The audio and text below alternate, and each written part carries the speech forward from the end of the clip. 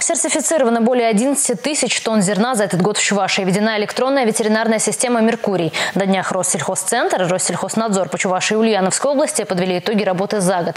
Отметили и журналистов, активно освещающих деятельность ведомства.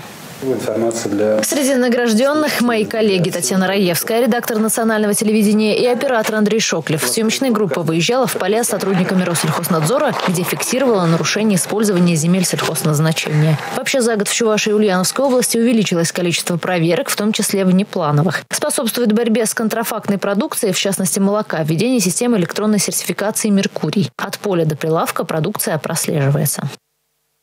Сейчас у нас в руках инструмент, который дает прослеживаемость э, всех цепочек поставок молочной продукции. И это полностью меняет э, наш э, обычный формат работы.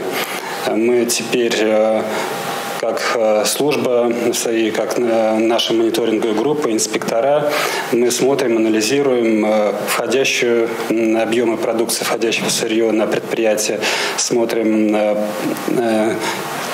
том числе и подозрительные, нелегальные э, и нелогичные схемы перемещения товаров, просроченной продукции.